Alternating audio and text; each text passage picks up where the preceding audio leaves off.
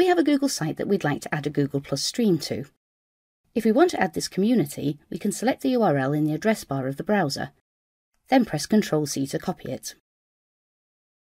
Back in the site, we can click on the Insert tab on the right-hand side of the page to show the Embed button.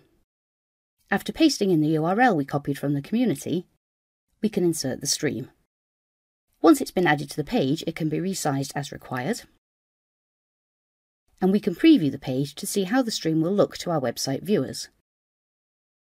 Visitors to our site can like a post and add comments, just as they can in Google Plus itself. You can add Google Plus profiles too, so that you can show all posts made by a specific colleague. After viewing their profile, Select the URL in the address bar of the browser again, then copy it as before.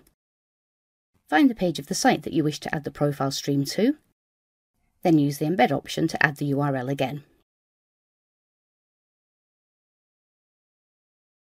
Thank you for watching.